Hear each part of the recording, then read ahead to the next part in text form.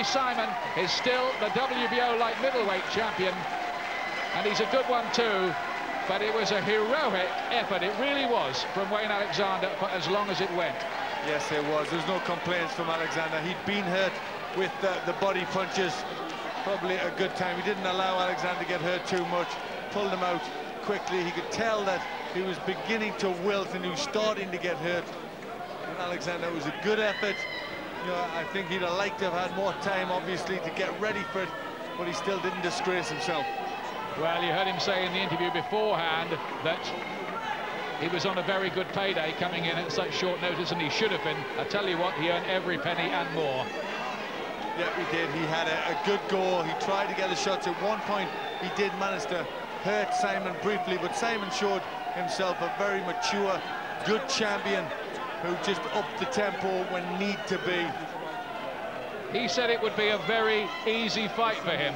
I don't think you could quite put it in that category, could you? Not well, he's having a silent prayer there. I think he's glad that that one's over. He had to take a few heavy punches himself. His camp now will be trying to engineer a big, spectacular fight for him in America that could really make his name. Yeah, the body punches. That one just on the borderline a little bit, but then the right hand finding the gaps, and then the good one left hook around the side. That one very hurtful. And I thought this was a good stoppage by Paul Thomas. He could see the way the tide was going. He knew Alexander had come in late, and he didn't want him to take too much. Yeah, I think that's right. I think you know, Alexander didn't complain. You know, he knew it was getting all a bit hard in there. Simon looking fresh, good right hand there, starting to you know, really let the shots go. Yes, good refereeing, because only one thing was going to happen if it had gone on, and that was Alexander would have got hurt some more, and he's got plenty of his career left. That's right. And, uh, you know, that was good. He got a shot at world title level. He knows what it's all about. You know, more experience, he can do better. He's been in with Simon. He knows how far he needs to improve. Good workman, like performance from Simon, puts his shots together well, looking for the finish. He knew he had Alexander, he knew he had to step it up, step it up then. It really was a shootout, wasn't it? Particularly those first three rounds. First three rounds are very good. That was Alexander's best opportunity. When he didn't get him then with a big shot, when Simon was in front of him, you knew his chance was slipping away. He nearly floored him with that big right hand, but he didn't. And maybe at that moment, Alexander was starting to think, well, these big punches that knock out the domestic guys just don't work against this fella. Ladies and gentlemen, we have the time of 2 minutes 43 seconds in round number 5. Our referee in charge, Paul Thomas, stops the contest. The winner by way of technical knockout, still undefeated, and still the WBO Junior Middleweight Champion of the World, Harry Simon.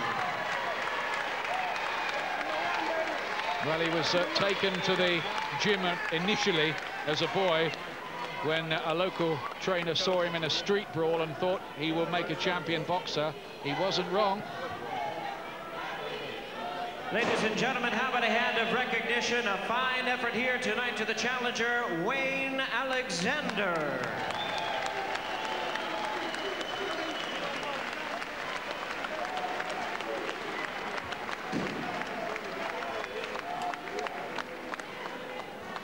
Alexander has done himself no harm here tonight. But Michael Gomez will be the next of our hopes to try to break into world class. And he might be interested to know Sam uh, Alexander's fate tonight. Gomez in action at super featherweight next against Laszlo Bognar from Hungary. It's a big chance for Bognar back in the spotlight tonight. But if Gomez really is going into world class, he needs to get the job done.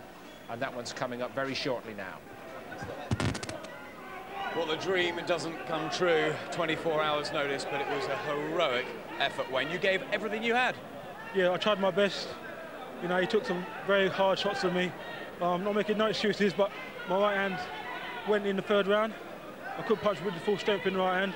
But Harry Simon's a great champion. He, you know, he hit me with some good body punches that slowed me down. You took him into your type of fight, the sort of barroom brawl, didn't yeah, you? that was it. That was my plan, to mix it with him and catch him with one of my you know, short hooks inside but he took them and him. You nearly had him in that second round, you seemed to wobble him, but once he'd taken that, were you disheartened? Um, a little bit, I suppose, because you know normally when I catch a guy, they go.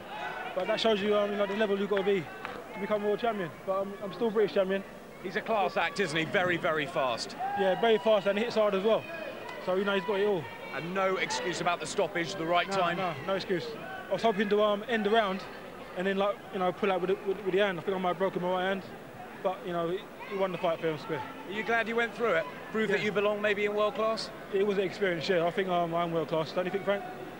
more than world class. You know, he took it 24 hours notice. He's supposed to fight in two weeks' time.